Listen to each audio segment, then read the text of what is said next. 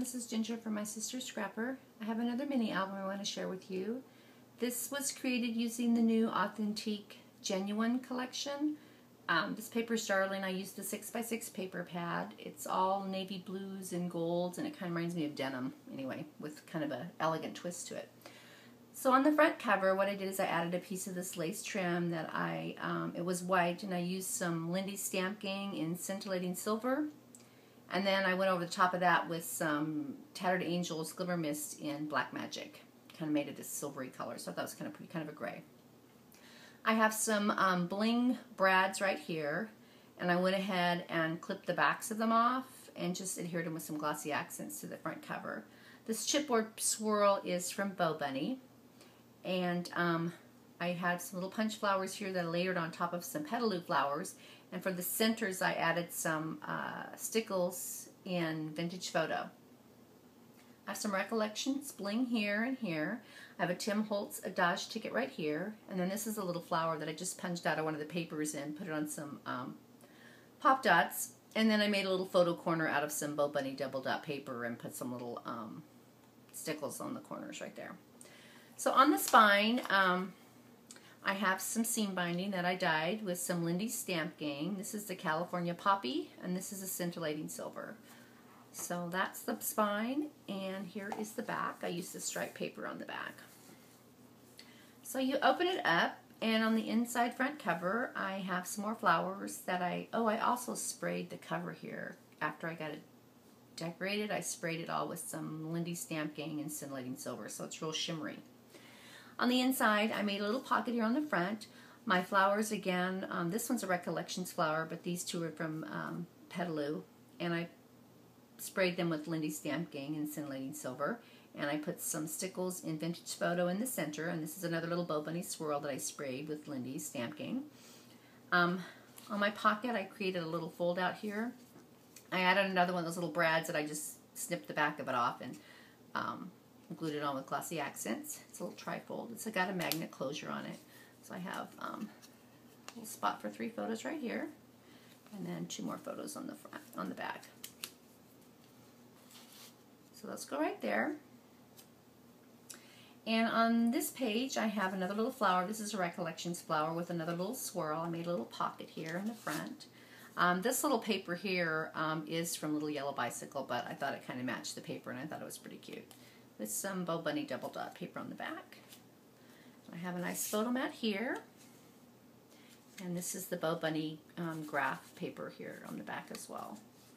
And then all of my photo mats are using the Bo Bunny graph paper um, and then the design papers on top of that. And I used my corner chomper with the ticket stub for the back.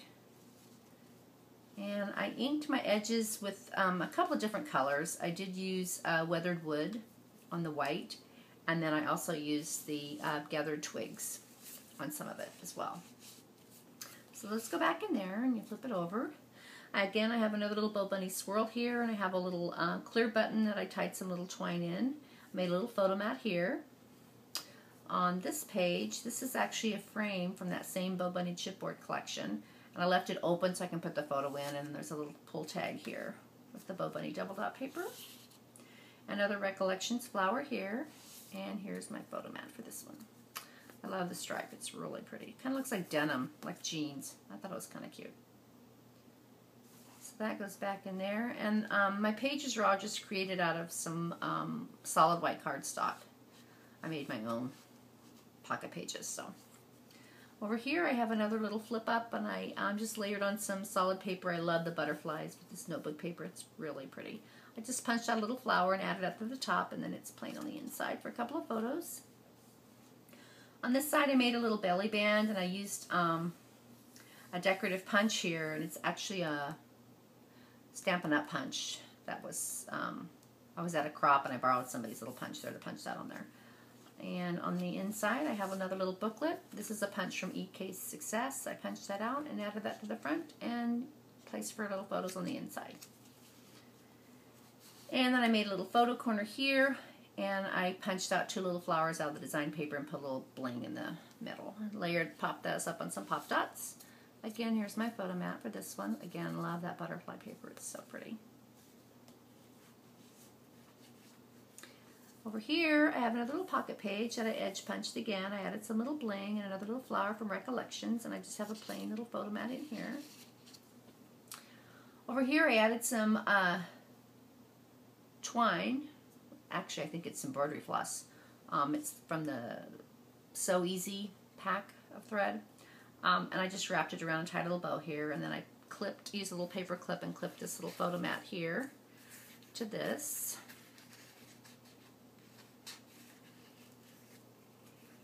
So that just goes back in there, and here's my photo mat for this one. Looks like the back pocket with some little faux stitching there. It's darling.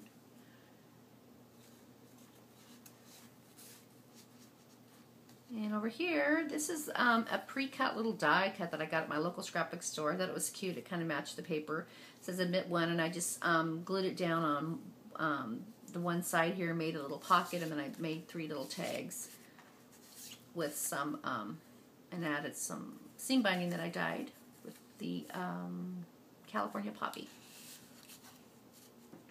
Over here, I have another chipboard piece from the Bo Bunny chipboard collection that I got. And then I just made a little uh, flag here and I used the extra large eyelet and put it in there. And here is my photo mat for this one. Love the little stars, it's so cute.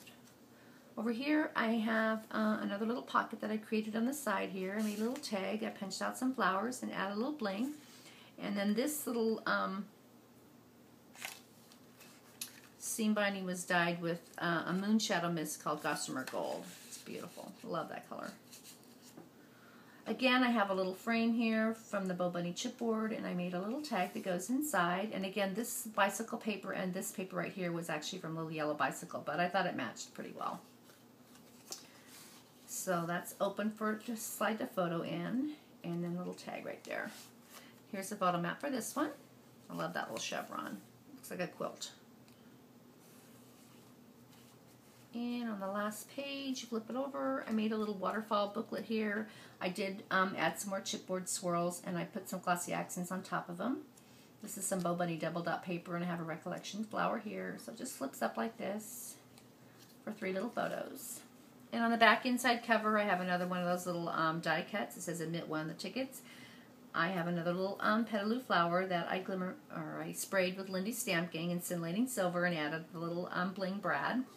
And then I made two more little tags here, and I used the shimmer eyelets from We R Memory Keepers out of the um, Bo Bunny Graph-like paper. So that's the back inside cover.